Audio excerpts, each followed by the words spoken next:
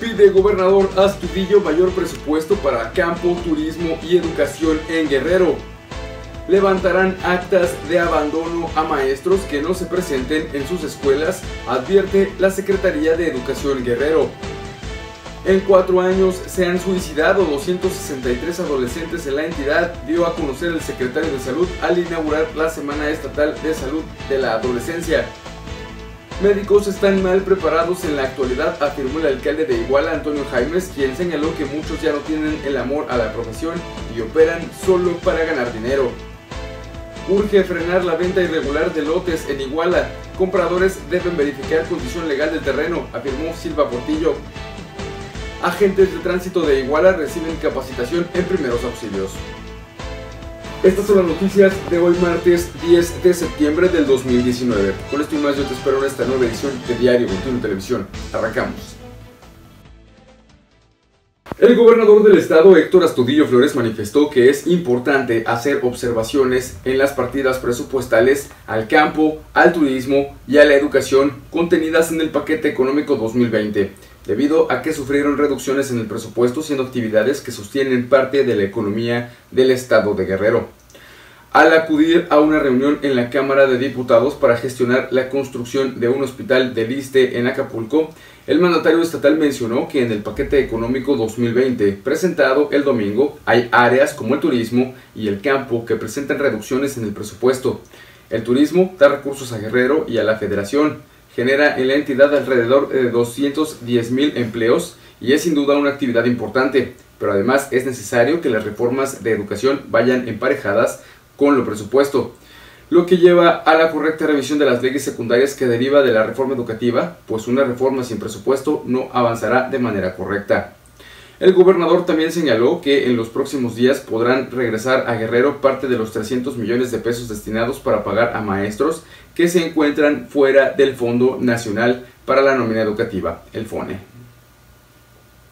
En otros temas, la Secretaría de Educación Guerrero emplazó a los profesores que cuentan con plazas de base para que se presenten a trabajar a los centros educativos en los que fueron asignados, porque sobre advertencia no hay engaño, dijeron, ya que si no lo hacen les levantarán actas por abandono de empleo. Entrevistado este lunes en sus oficinas alternas ubicadas en el rancho Los Cedros, el secretario de Educación Arturo Salgado Uriostegui reveló que la dependencia ya levantó 24 actas por abandono de empleo contra docentes que se negaron a arraigarse en las escuelas en las que los asignaron después de recibir su nombramiento de plaza de base. Agregó que el miércoles de esta semana tendrán un estatus de cuántos serán los profesores a los que les levanten actas por no acudir a dar clases. También señaló que los docentes obtienen la ventaja de elegir entre tres opciones el lugar a donde se asignará su plaza. Sin embargo, hay quienes no han aceptado su ubicación después de conocer la zona donde van a dar clases. En otros temas, del año 2005 a lo que va del 2019, 263 adolescentes entre 15 y 19 años de edad se han suicidado en Guerrero. Lo anterior fue revelado por el secretario de Salud de la entidad, Carlos de la Peña Pintos, tras inaugurar este lunes la Semana Estatal de la Salud de la Adolescencia en las instalaciones del Centro del Bachillerato Tecnológico Industrial y Servicios, CETIS, número 135, con sede en la capital del estado, en Chilpancingo, donde hizo un llamado para que el cuidado de la salud física y mental de los 736 mil jóvenes en la entidad sea una realidad. De la Peña Pintos dijo que el objetivo de esta actividad es fomentar entre adolescentes la adopción de estilos de vida saludables. Es una semana que se realiza en todo el país desde hace 14 años para acercar a los adolescentes a los servicios de salud. Explicó también que en Guerrero hay una población de más de 3.650.000 habitantes y que son más de 736.000 los que son adolescentes. En otros temas, para el presidente municipal de Iguala, Antonio Jaime Herrera, y el coordinador de las clínicas de Liste en la zona norte de Guerrero, Néstor Rodríguez Domínguez, en la actualidad se ha perdido la importancia de ser médico y la preparación de los estudiantes de medicina puede llegar a ser deficiente. Además, a los estudiantes del último año que se internan en los hospitales y clínicas para hacer su año de prácticas ya no se les puede exigir nada, dijeron. Anteriormente los grandes médicos te ilustraban de una manera sencilla, con liderazgo, para servir con amor a los demás. Dijo el alcalde que él no quiere reclamarle a nadie que se hayan perdido los eslabones, pero a veces se encuentra a muchos estudiantes de medicina que no saben ni cuántas partes se divide el corazón y eso es preocupante, señaló Jaime Herrera.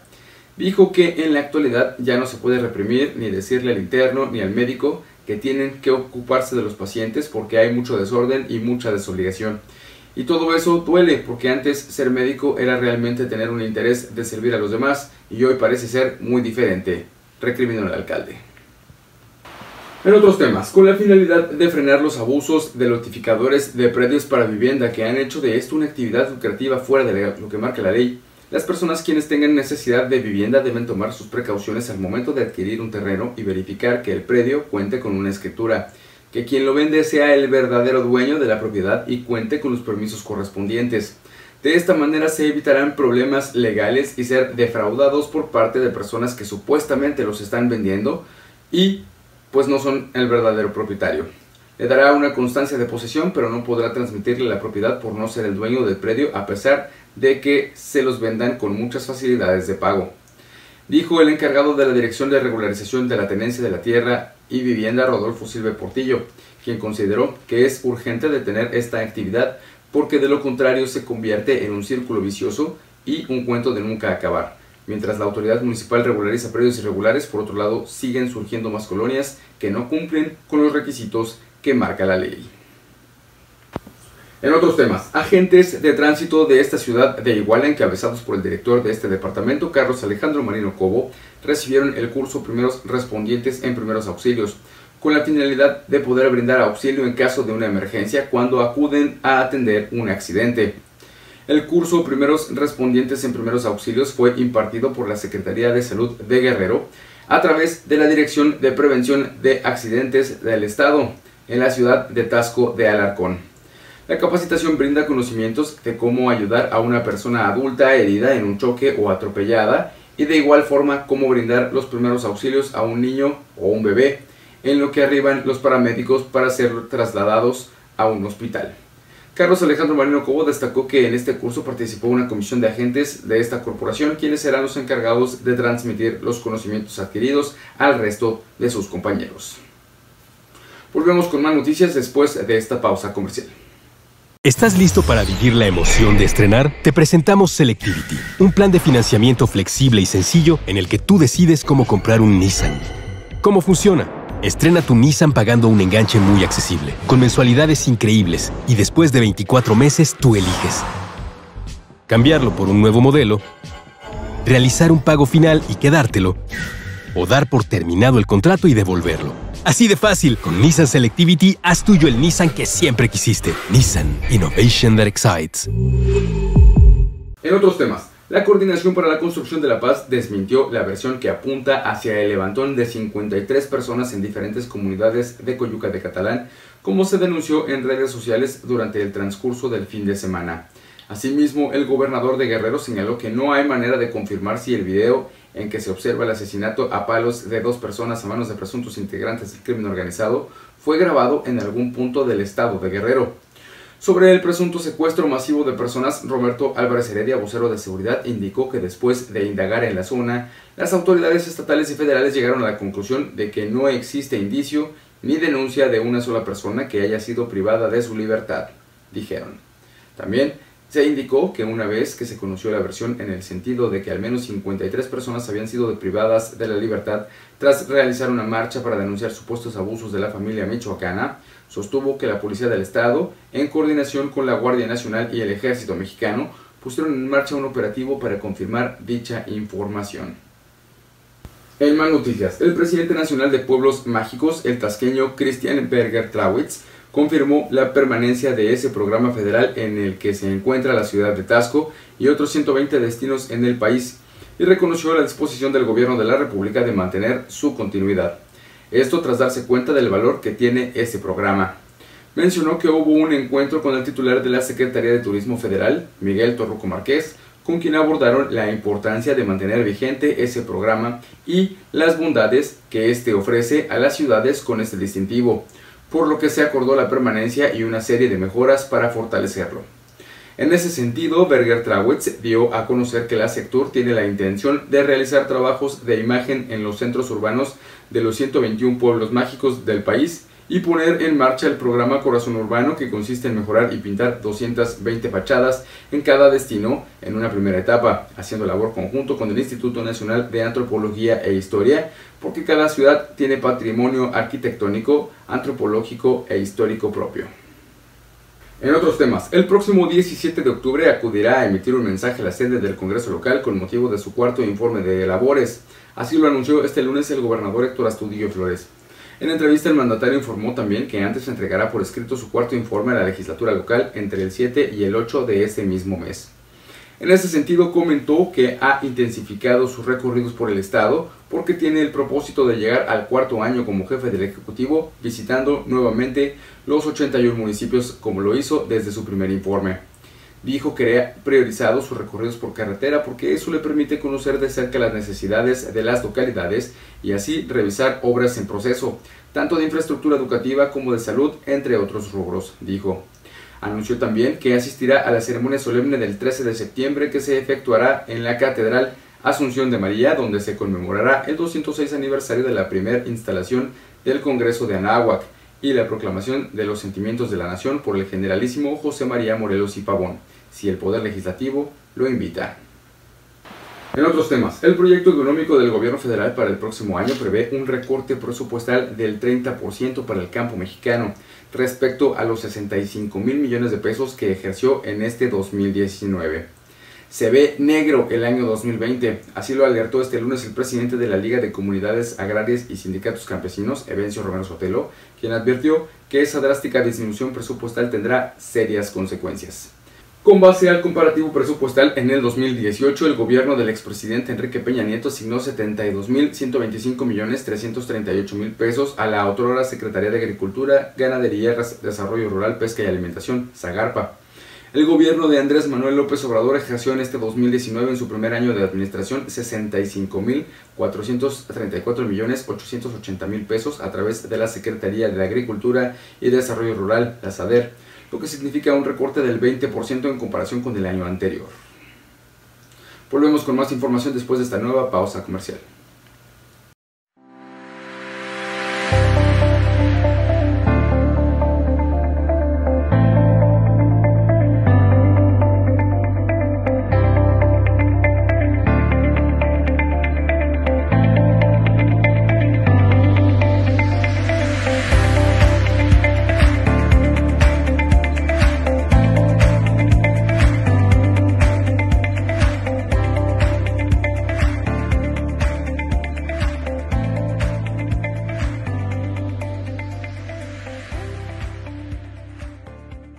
En más noticias, con una inversión de 1.999.359 pesos, el presidente municipal de Huachuco de los Figueroa, José Luis Ávila López, junto con los regidores Jesús Galeana Figueroa, Pedro Marván Baena y Marco Antonio Nájera Nieves, y familias beneficiadas, inauguraron la pavimentación con concreto hidráulico de la calle Porfirio Díaz de la colonia La Nopalera. En el evento inaugural al que asistieron los directores de área y vecinos de La Nopalera, el alcalde de Huichuco, José Luis Ávila López, dijo que con la pavimentación comprende un total de 353.24 metros cuadrados que se desarrolló como un compromiso con la gente que por años venía demandando dicha obra. Explicó que además de la pavimentación se colocó un total de 230 metros lineales de tubería de PVC hidráulico de 2 pulgadas de diámetro, la construcción de 15 descargas sanitarias, instalación de 21 tomas domiciliarias de agua potable, 1.353.24 metros cuadrados de pavimento hidráulico armado con malla electrosoldada, además de 416.9 metros lineales de guarniciones de concreto. En otros temas, el Comité Directivo Estatal del PRI Guerrero que preside Esteban Albarrán Mendoza continúa desarrollando actividades para coordinar el trabajo institucional, preparar a su militancia y mantener el contacto con la sociedad. Este fin de semana la secretaria general Gabriela Bernal Resendiz acompañada de secretarios del Comité Directivo Estatal estuvieron los días 6 y 7 de septiembre en la ciudad de Tasco de Alarcón, donde se realizó un curso taller organizado por el Comité Directivo Estatal llamado Construcción de Imagen Política y Resiliencia para enfrentar el cambio fortaleciendo el liderazgo, el cual estuvo dirigido a mujeres periodistas de las regiones de la Tierra Caliente y zona norte del estado de Guerrero. En otros temas, el secretario general de la sección 14 del CENTE, Javier San Martín Jaramillo, encabezó este lunes la segunda reunión de información sindical con secretarios generales, delegacionales, representantes de centros de trabajo, así como con directores, supervisores y jefes de sector en la región Tierra Caliente, donde además atendió y dio seguimiento a diversas inquietudes de los trabajadores de la educación, activos y también jubilados. En la reunión que se tuvo a cabo en el Centro del Bachillerato Tecnológico Agropecuario número 18 en Ciudad Altamirano, acompañado por el representante del CEN, Dagoberto Limones López, el dirigente magisterial refrendó el compromiso del Comité Ejecutivo Seccional de trabajar en unidad para dar atención y respuesta positiva a las demandas de las compañeras y compañeros agremiados, dijo. En otros temas, el presidente municipal de Tepecuacuilco, Ignacio Campos Zabaleta, acudió a la comunidad de Xochimilco donde entregó el expediente técnico y dio el banderazo de arranque de la obra consistente en pavimentación con concreto hidráulico en la céntrica calle Miguel Hidalgo, en presencia de la comisaria municipal Ana Ramírez Román y del comité de la obra. Además, hizo compromiso para continuar apoyando a la educación en esta localidad. En Restaurant Bar El Tasqueño disfruta de la especialidad de la casa, su exquisita barbacoa todos los días. Además te ofrecemos servicio a la carta. Abrimos de lunes a domingo de 8 de la mañana a 7 de la noche. Restaurant Bar El Tasqueño, por tradición y sabor, en barbacoa, es el mejor. En otros temas, el compromiso con la educación es primordial para la administración encabezada por el alcalde de Cocula, Carlos Alberto Duarte Baena. Por ello, a lo largo de estos meses se han entregado 15 aulas equipadas en diversas instituciones. Este lunes fue el turno del Centro de Bachillerato Tecnológico Agropecuario número 223 de inaugurar su aula. Acompañado del cabildo y directores de área, el alcalde Duarte Baena mencionó que es importante que los estudiantes cuenten con espacios dignos para poder desarrollarse académicamente. Por ello, dijo, hemos realizado 15 aulas y 12 techados en escuelas donde ha sido necesario, pero también sabemos que faltan más obras, más necesidades que cubrir. Es por ello que vamos a seguir trabajando para llevar más beneficios, dijo. Mientras tanto, Continuando con el objetivo de promover y desarrollar acciones de igualdad en el Estado, el gobierno que encabeza Marcos Efrén Parra Gómez en Tasco, a través de la Secretaría de la Mujer Estatal y del Instituto de la Mujer Municipal, llevaron a cabo la capacitación a servidores públicos de la zona norte, siendo el municipio tasqueño la sede del evento. A través del programa de transversalización de género, la mañana del lunes en el Centro Cultural Casa Borda se llevó a cabo el curso Taller Prevención de Acoso Sexual en el ámbito laboral dirigido a los trabajadores de la Administración Pública de la zona norte del estado de Guerrero, en la que, por cierto, participaron funcionarios públicos de los municipios de Iguala, Tetipac, Apaxla, Tepecoacuilco de Trujano, Teloloapan, Huizuco de los Figueroa y, por supuesto, Tasco del Arcón.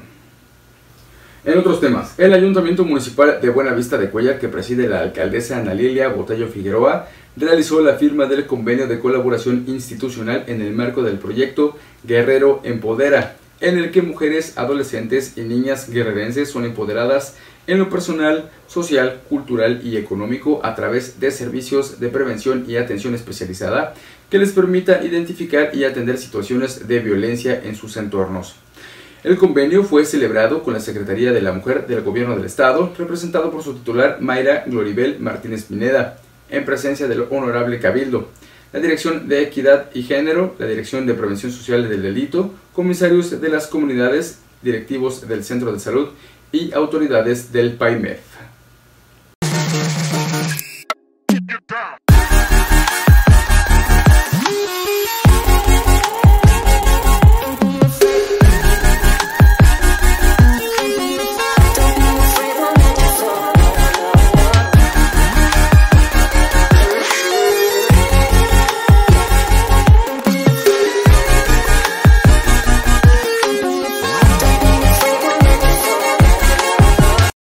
Finalmente, la Secretaría de Hacienda propuso al Poder Legislativo reformas para frenar la evasión fiscal, al eficientar la retención de impuestos a plataformas digitales de servicios como Rappi, Uber, Sin Delantal, YouTube, Spotify, a arrendadores de casa habitación outsourcing, a vendedores de Andrea Abon Mariquey y eliminar los fideicomisos de infraestructura y bienes raíces, las fibras privados. Con esto no hay ningún elemento de terrorismo fiscal, es muy claro que estas son prácticas que existen en el Reino Unido, en Portugal y Estados Unidos. No estamos inventándonos nada nuevo, así lo aseguró el secretario de Hacienda Arturo Herrera. A la pregunta de si se utiliza esta decisión como diversos mecanismos para castigar a los evasores, que incluye el actualizar la tasa de impuesto a quienes tienen ahorros en los bancos. Puede ser realidad terrorismo fiscal, dijo. Cabe mencionar que antier el secretario de Hacienda entregó a la Cámara de Diputados el paquete económico 2020 que incluye una miscelánea fiscal para modificar las leyes a los impuestos sobre la renta, el ISR, al valor agregado, el IVA, y puntos especiales sobre productos y servicios, el IEPS, así como el Código Fiscal de la Federación. Hasta aquí las noticias del día de hoy. Recuerda que estas y más las puedes encontrar perfectamente detalladas en tu versión impresa de Diario 21. Yo soy Jorge Albarrán, muchísimas gracias por tu preferencia, nos vemos mañana, hasta la próxima.